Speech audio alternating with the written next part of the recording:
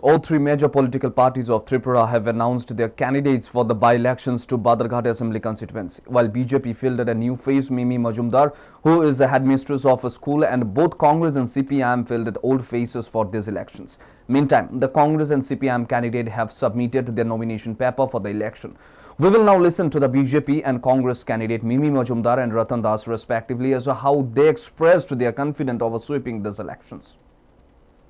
কি মনে হচ্ছে আমি আপ্লুত যে আমি বাজারঘাটবাসীর জন্য কিছু কাজে আমি নিযুক্ত করতে পারব নিজেকে সেজন্য পার্টি আমাকে সেই সুযোগটা করে দিয়েছে এর জন্য আমি পার্টির কাছে অসংখ্য ধন্যবাদ জানাচ্ছি আমি পার্টির যারা শীর্ষস্থানীয় নেতৃত্ব আছে আমাদের স্টেট প্রেসিডেন্ট শ্রী বিপ্লব কুমার দেব মহোদয়। ওনাকে অসংখ্য ধন্যবাদ জানাচ্ছি আমি।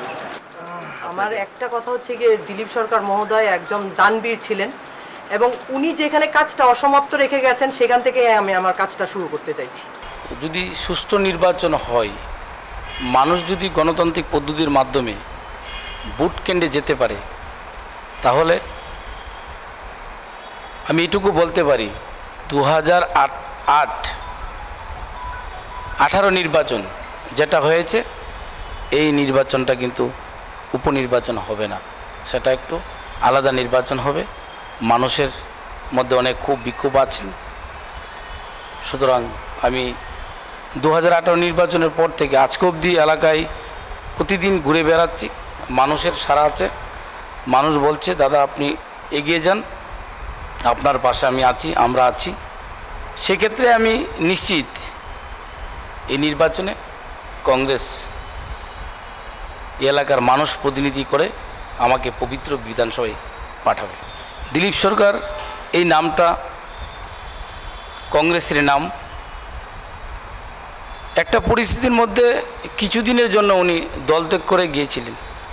ওনার রাজনৈতিক শুরুটাই কংগ্রেস দিয়ে এবং ওনার সঙ্গে ছোটোবেলা থেকে আমরা রাজনীতি শিখেছি, দেখেছি।